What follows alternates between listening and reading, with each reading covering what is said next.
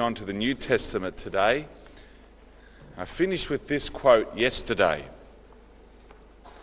from the Gospel of St. John, chapter 12. When I am lifted up, I shall draw all men to myself. Now, Lord was referring, of course, to his upcoming crucifixion on Mount Calvary. Yet, when he was crucified, when we read the various Gospel accounts of our Lord's crucifixion, who were there? Not all men were there at that time. We have, of course, Our Lady. We have four Marys there, in fact. Our Lady, Mother of Jesus. We have her sister. St. John, in his Gospel, chapter 19, refers to the next Mary as the sister of Our Lady, Mary of Clopas, who's actually the mother of the brothers and sisters of Jesus. We hear about the brothers and sisters of Jesus. They are actually the children of Our Lady's sister, who's probably her cousin. The word there is used in a generic sense. Mary, the wife of Clopas. We have, of course, St. Mary Magdalene, the third Mary at the foot of the cross. We have Salome, otherwise known as Mary Salome. Salome, the wife of Zebedee, the mother of the apostles, St. John and St. James the Greater. By the way, Mary of Clopas, who I've mentioned already, she was the mother of two apostles herself James the Less and Jude Thaddeus. So there was a whole family situation there at the foot of the cross. These were the faithful ones. When we remember when we speak about the tree of life and the fruit that comes from the tree of life, whether the original tree in the Garden of Eden or the tree erected by Moses in Sinai, and now the greatest of all trees of life, that of our Lord on Mount Calvary, it's those who are in friendship with God who could come before that tree. And of course, we have the Apostle St. John. A lot happens at the foot of the cross, as we know. St. John's actual mother is there, that's Salome. His natural mother is there. And we have our Lord adding to that natural motherhood a spiritual motherhood of Our Lady upon St. John as well, as we know. Sadly, I can't go into that in much detail here today. But I'll focus on St. John. Here's St. John, the youngest of the apostles, about 18 years of age, impetuous, one of the sons of thunder, he didn't have the cowardice and the human respect that sadly the, that we're all plagued with and the apostles suffered from. They fled, they were not there at the foot of the cross. Here's St. John, the remnant apostle, bishop, so to speak, representing the remnant faithful church that's there at the foot of the cross. And he notes something and records it in his gospel what appears to be a minor event, but very significant, not mentioned by the other gospel writers, St. Matthew the Apostle and the two evangelists, not mentioned by them. We know that our Lord was crucified with two others, and they had to be, so to speak, finished off before nightfall.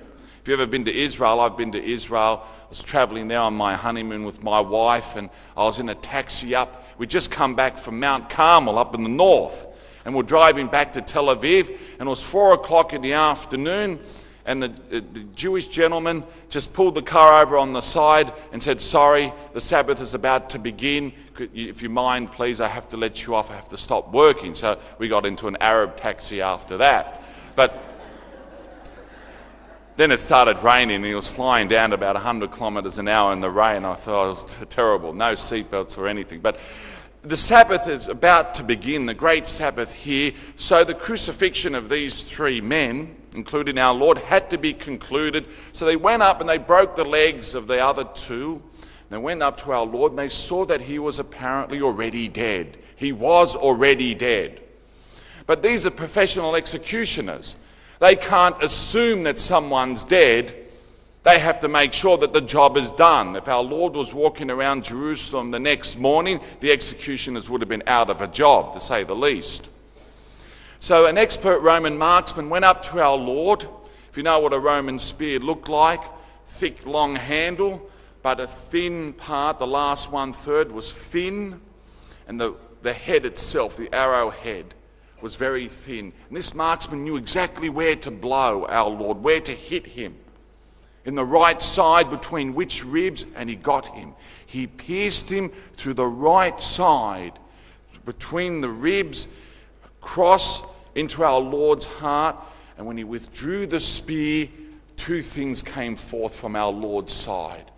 And St. John speaks very solemn, solemnly of what he saw when he records this in his gospel. From the side of our Lord came blood and water. And this is extremely important here. This is the tree of life, the new tree of life, and our Lord is about to give us new, wonderful spiritual food. And now the food is flowing from this tree. The blood and the water represent the two great sacraments baptism and the Eucharist. Our Lord gave us seven sacraments, seven, the number of perfection and completion, sacrament for each moment of our each important stage in our lives. But out of the seven sacraments, he speaks of two that are imperative, that we must have. And they are these two sacraments baptism and the Eucharist. Go back to St. John chapter 3, the conversation with Nicodemus. Unless you're born again of water and the Holy Spirit, you cannot enter into the kingdom of heaven. Chapter 6 of St. John's Gospel. Unless you eat my flesh and drink my blood, you shall have no life in you. These are not optional sacraments. That's why the church says we must be baptized. That's why the church says we must receive the Eucharist at least once a year. They're gifts. We cannot despise such wonderful gifts. Now, there's something here even more deep and more beautiful. Here we have our Lord. Our Lord is the second Adam. The first Adam, of course, we know was Adam in paradise. And Adam was the head of humanity. But Adam had a spouse as well. He couldn't find companionship in any of the other animals. Remember yesterday, he named all the animals and he gave them a name that was related to their essence. He understood the essence of each animal and he gave them a name that reflected that essence, that nature. Couldn't have companionship with them. But our Lord God Himself gave Adam the suitable, appropriate companion, and he drew the spouse of Adam from Adam's side, from a rib from his side. And that spouse, Eve, was therefore nourished by the flesh and blood of the first Adam. And Christ is the second Adam, greater than the original Adam, the God man our Lord. He too was to have a spouse. That spouse is the church, his bride, adorned with the merits, the merits of the saints. That spouse is also to be formed and nourished by the flesh and blood of the groom, this one, Christ Himself. So, from the side, the church of the church, the spouse of Christ, is born. Born through baptism, nourished by the Eucharist. Now let's look at baptism in some detail. Yesterday we spoke about the, the mysterious rock that followed the people of God in Sinai, the Even Shemiah. How that rock was pierced in the side by Moses with his rod and out forth came water that brought natural life, sustained the natural life of the people of God in Sinai. Ezekiel, the prophet, a prophet of the chosen people during the Babylonian captivity in the 6th century BC, he too had a revelation given to him. The temple had just been destroyed, the great temple of Solomon.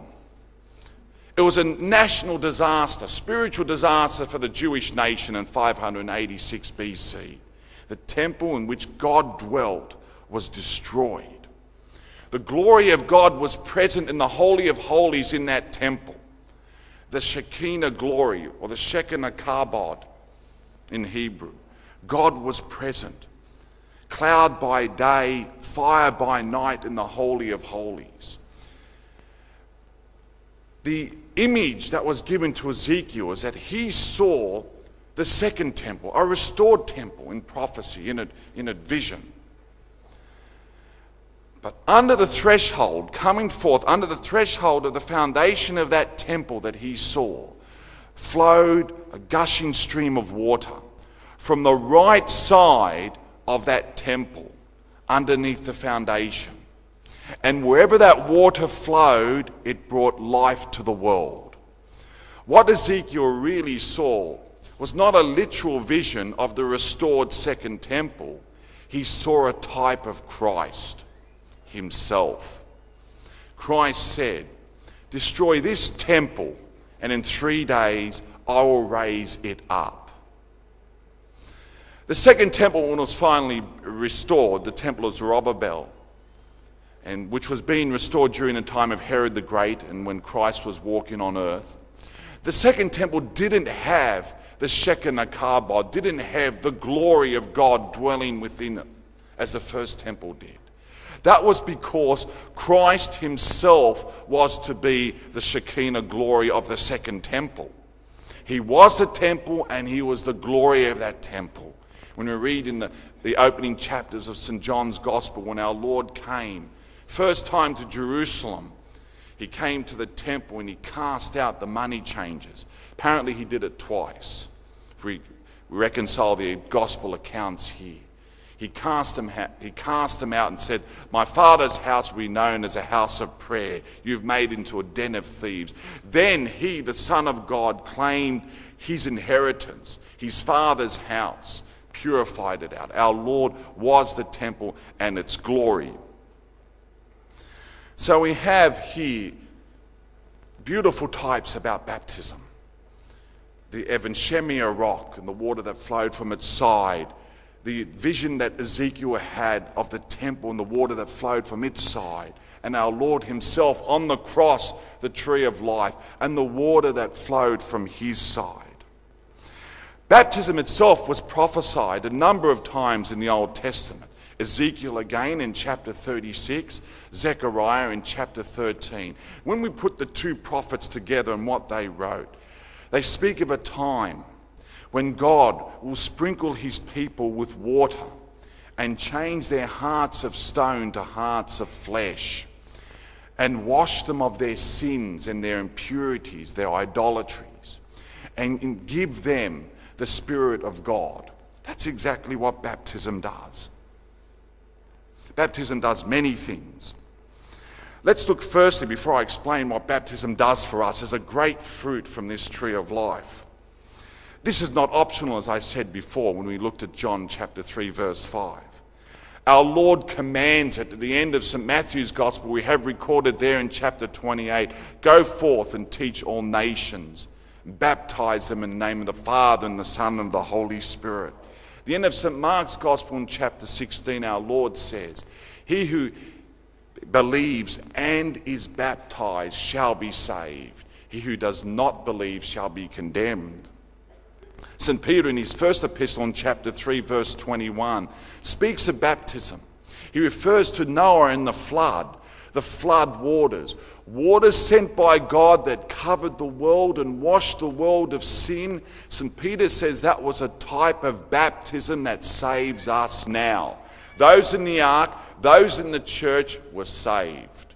The waters of the flood brought those into the ark. The waters of baptism brings us into the ark of the church, the spouse of Christ, the body of Christ.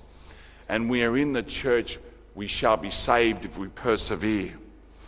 This is, we look at other effects of baptism. Christ, he was the anointed one. That's what Christ means. We as Christians are also to be anointed. We are incorporated into Christ. We become part of Him. We marry into Him because of baptism the mystical body of Christ. That's what we become part of. And through baptism, we are anointed. We are Christed, so to speak. We receive an indelible mark on our souls that remains forever. The fathers of the church called this the seal. St. Justin Martyr, in chapter 61 of his apology to the Emperor Antoninus Pius, when trying to explain the rites that the Christians engaged in, spoke about this. The waters of regeneration. That's what St. Paul said when he wrote to Titus. The waters that restore us to the life of grace, the participation in God's own divine nature. Lost because of original sin, now being restored to us by the new Adam Christ. That mark, that character, that seal identifies us objectively as Christians. It can never be removed from our souls. It remains a mark on our souls forever. Not even mortal sin can, re- can remove it. Of course, other wonderful things that we receive through baptism. Gifts given to us by God to enable us to be like Christ in the world. Of course, we get sanctifying grace, the participation in God's own divine nature, created participation. With that, we get infused theological virtues of faith, hope, and charity to enable us to have that perfect relationship with God. The other virtues, the moral virtues of temperance, fortitude, prudence, and justice to enable us to live with our neighbour well, as well as with God, to give our neighbour what is due, to love our neighbour according to Christ's teachings. Seven gifts of the Holy Spirit, rights to actual graces. It's an abundance, it's an overflow of gifts and help given by God so we can be imitators of Christ in the world. So much we can say about baptism, it's just such a wonderful gift. Those, there's, there's a greater percentage of the population in Australia that's that is becoming that are the unbaptized. What a tragedy. This will only increase the influence of Lucifer over us in the world because it's through baptism that we are freed from this slavery, the dominion that Lucifer gained over humanity because of original sin. When we fell from the supernatural order to the natural order, we fell under the influence, the dominion of Lucifer a greater creature than us in nature. But we are freed from that slavery through baptism. It's a sacrament we cannot afford to ever neglect.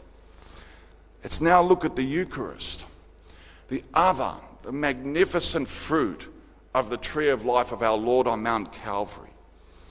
A year before Mount Calvary occurred for us, our Lord spoke wonderful words we all know about the feeding of the 5,000, the miraculous feeding of the 5,000. Yes, it wasn't just a miracle of caring and sharing, it was a real miracle of multiplication of the loaves. We read about that in chapter 5. The people were amazed. Thousands of them, at least 5,000 men. There was more than 5,000 people there. Five loaves, two fishes. The number seven appears again. This is a symbol of the Eucharist. Sorry, more than the Eucharist, all the seven sacraments, how God, through Christ, through the apostles, through the church, will feed us with a food continually that will never run out. The supernatural divine food of grace that comes to us through the sacraments. But these people at the time appreciated our Lord's miracle, but were still very carnal. Not spiritual enough to appreciate exactly where our Lord was taking them. They followed him. The next morning, when they woke up, they saw our Lord was gone. He'd walked on the water, a second great miracle he did for the benefit of his disciples. And they followed him around the lake and they finally caught up with him. They were hoping for another free sandwich. They've been fed the day before. This is great. Let's go after this man. We can have more food for free. Our Lord upbraided them for that mentality. I'm going to read to you extensive sections from the chapter 6 of St. John's Gospel. He confronts them and says the following Our Lord Do not labor for the food which perishes. You want a free sandwich? That food will perish. But for the food which endures to eternal life, which the Son of Man will give to you. This is more than two years into our Lord's public mission. This is the third Passover he's spending with his disciples. He's already given them wonderful spiritual foods. He's preaching, he's teaching, his example, his miracles. This is another food he's not yet given them that he promises that he will give them sometime in the future. for on him has the Father set his seal. Now, if you're going to get this spiritual food which I offer you sometime in the future, what must we do to receive it? This is the work of God, that you believe in him whom he has sent. To be eligible to receive this wonderful food, we must firstly have faith in Christ. So they said to him, Then what sign do you do that we may see and believe you? That was slow. The day before that, it had all been fed miraculously through the multiplication of the loaves and the fishes. And they're saying, if we're going to believe in you, well, what sign can you do so that we can trust in you? Then they say the following Our fathers ate the manna in the wilderness. As it is written, He gave them bread from heaven to eat. Then our Lord corrects them and says, My Father gives you the true bread from heaven. It was not Moses, Moses was the instrument. My Father gave you that true bread. For the bread of God is that which comes down from heaven and gives life to the world. It's interesting because the manna in the desert only gave life to the Jewish people. The Israelites who were following Moses as the deliverer out of Egypt. It wasn't the bread that was given to anyone else, but our Lord's bread that He is going to give, that He is offering now, promising to give sometime in the future. It's a bread that's going to give life to the whole world. And it's not just a natural life, as the manna gave in the desert. This is going to be more than natural life. Jesus said to them, I am the bread of life. He who comes to me shall not hunger, and he who believes in me shall never thirst.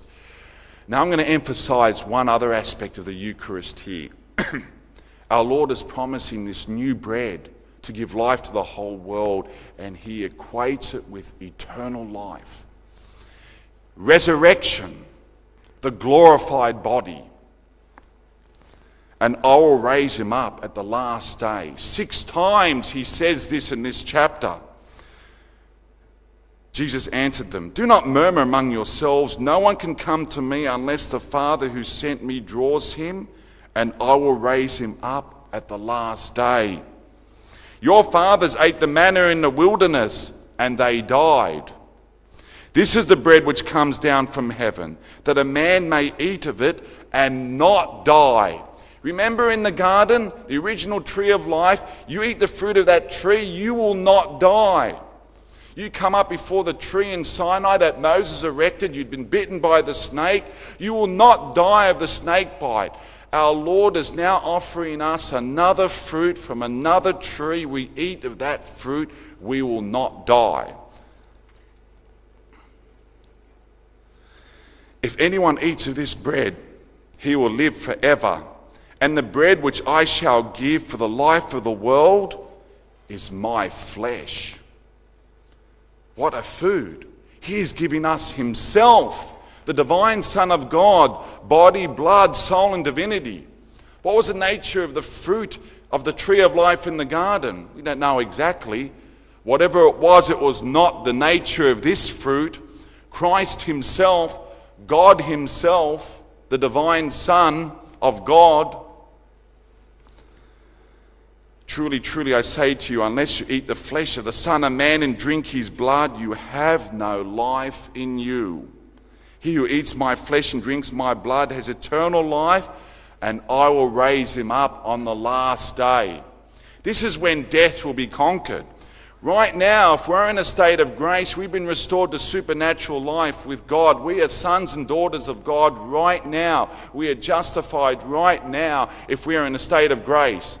But we still labor under the other consequences of original sin pain, sickness, suffering ignorance, malice, debility, concupiscence, lust, pride.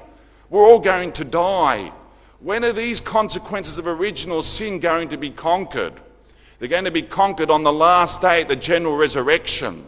And what is the food of the general resurrection? It is the Eucharist that our Lord is promising here one year before his death on Mount Calvary. But there are some of you that do not believe. They began to murmur. There was a whole lot of disciples there. They heard this. What's going on? We were following this man. We thought he was a prophet. He's telling us to eat his flesh and drink his blood. This is cannibalism. We cannot handle this. This is the accusations the Christians will carry with them against them for centuries. When you read the writings of the early church fathers, the common accusation is that the Christians were man eaters, cannibals, Thyestean feasts. There's a long Greek word I find difficulty to pronounce anthropophagi. They are accused of anthropophagi, that is, eating men. Many have misunderstood this teaching for centuries, but the teaching has always been the same. Later on, we'll look at the fathers as examples of what they have to say. Now, these words troubled many, even one of the disciples himself. Not this version I'm carrying here, the Revised Standard Version, but another common version in the English speaking world, the Knox version, says the following speaks of them, for Jesus knew which of them did not believe and which one of them was to betray him. Which one of those who did not believe was to betray him? That's the Knox version of the Bible in English.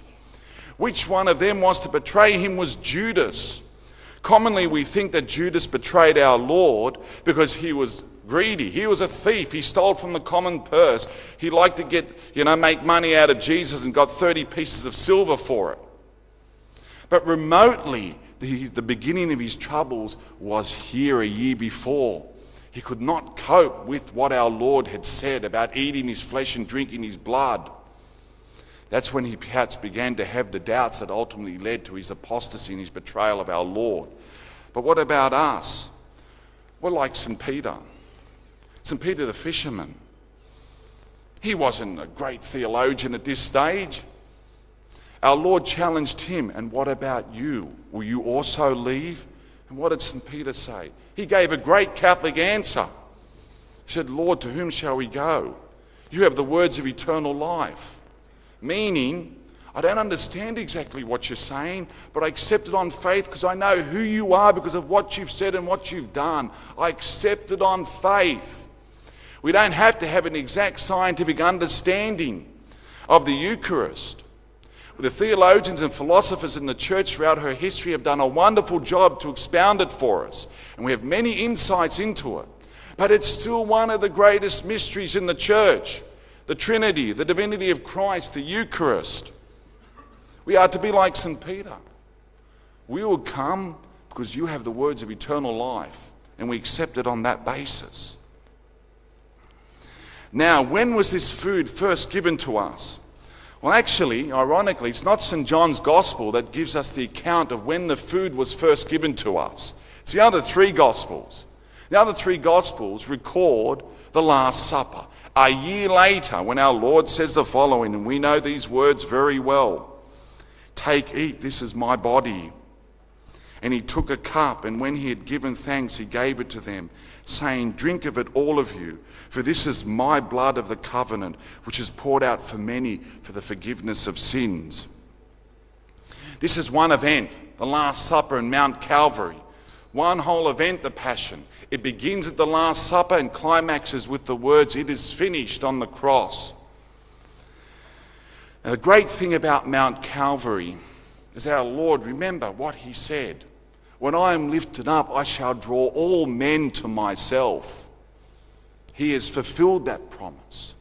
We weren't there 2,000 years ago in 30 AD. I think it was the 14th of April in 30 AD. We weren't there. If I had a time machine and I was, had one coin to use, and where would you go in this time machine? You've got one $2 coin. Where would you want to go? I would want to go there to Mount Calvary outside Jerusalem 30 AD.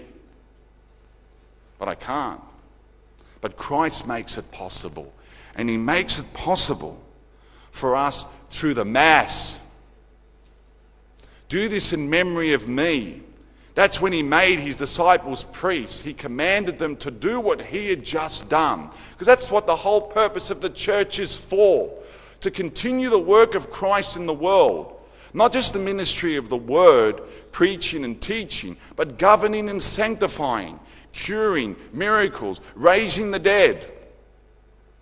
That is what the church still does. Forgives sins, gives us the, his people, his spouse, the food, his flesh, and his blood. That's what the church still does today. And the Mass is not just representing Calvary, it represents it. What a great sacrament. Mystically, Calvary is enabled, is moved by Christ so we can be present, moved in time and place. It's the same event, but in a different form, unbloody manner. And we can be present at Calvary. We're actually present at the same event when we are at Mass. Think about it. Remember how it used to be, those good old days, so to speak. You used to come into a church and used to see the altar on three steps. That wasn't just an architectural design, those three steps represented Mount Calvary. The priest is another Christ in the person of Christ. The one offering the sacrifice and the one being offered. This is my body, this is my blood. That's what the priest says. Another Christ. We can be present at Mount Calvary when we attend Mass. There was only one tree of life in the garden, there was only one pole that's in Sinai. There was only one cross of our Lord on Mount Calvary, but He's enabled this new tree of life to have many branches and to extend throughout the centuries until the end of the world. We can come to this tree of life and eat the flesh of Christ and drink His blood. We can eat the fruit of this tree of life, the food that will give us resurrection and eternal life.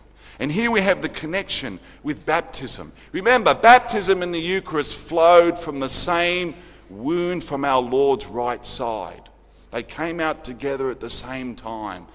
Because we could not go to the tree of life in the garden and eat its fruit, or approach that tree in Sinai, or come up before our Lord on Mount Calvary if we were not one of the faithful ones, repentant in God's friendship.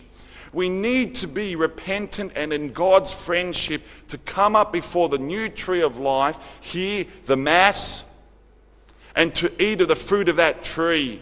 We need to be baptized first, to be made a son and daughter of God again, to be back in friendship with God.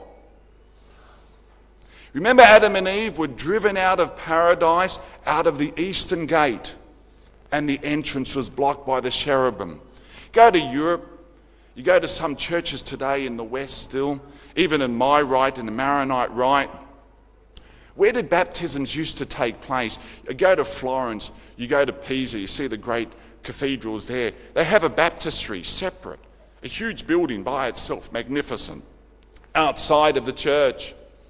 When a baptism takes place in the Maronite rite, it's at the door of the church because you're not allowed to enter into through the eastern gate unless you're once again a child of God, a friend of God. And when we're baptized, we're now that child of God again. And we can come through again the eastern gate and re enter paradise as a justified son and daughter of God. The parish church is the restored paradise. It's made paradise by Christ's presence our Lord present there in the tabernacle, that wonderful red lamp shining there in the corner, tells us that God is present in this house. As God was present originally, fire by night, cloud by day, the Shekinah glory in the Holy of Holies in the temple. God in this form is present once again in his own houses. And that presence makes those houses paradise new Edens we can come into. Baptized, we re enter that new Eden, and we can come up before the new tree of life, and we can eat that fruit, the flesh and blood of our Lord Jesus Christ, the new fruit of immortality, resurrection, and the glorified body. We must come with proper dispositions, as I've said. We've heard this quote already mentioned. I'll read from St. Paul, 1 Corinthians 11 27. Whoever therefore eats the bread or drinks the cup of the Lord in an unworthy manner will be guilty of profaning the body and blood of the Lord. Let a man examine himself, and so eat of the bread and drink of the cup. For anyone who eats and drinks without discerning the body eats and drinks judgment upon himself. That is why many of you are sick, and some of you have died. So, if we're not careful, we don't come up with proper dispositions, this fruit of life can become for us a fruit of death if we're not careful. I could read from the Fathers many quotes. Point, I'll point you, however, in the limited time I have, I see the light flashing, three minutes to go. But Look at the new encyclical by Pope John Paul II on the Eucharist because he refers to the Fathers many, many times. It was St. Justin Martyr and what he said in chapter 66 of his first apology that convinced me about the truth of Catholic doctrine. I was with Baptists for six years and I was unsure about the Catholic faith, but when I read what he had to say about the Eucharist, I came back. And finally, the tree of life is not over for us. We read it again in the last book of the Bible, in the book of Revelation, as I come to finish now. In the first book, in Genesis, in the last book, in the tree of life, is now a reward for us. Reading it here. Then he showed me the river of the water of life analogy to baptism, bright as crystal, flowing from the throne of God and of the Lamb to the middle of the street of the city. Also on either side of the river, the tree of life, with its twelve kinds of fruit, yielding its fruit each month. And the leaves of the tree were for the healing of the nations, as the Eucharist is. Blessed are those who wash their robes, that they may have the right to, to eat to the, of the tree of life, and that they may enter the city by the gates. St. Paul said as I began my talk yesterday if there be no resurrection, eat and drink, for tomorrow we die. But as Christians, we can say something else because there is a resurrection. And we can come and eat and drink of his body and blood and be joyful because for the Eucharist, tomorrow we will live eternally. Thank you very much.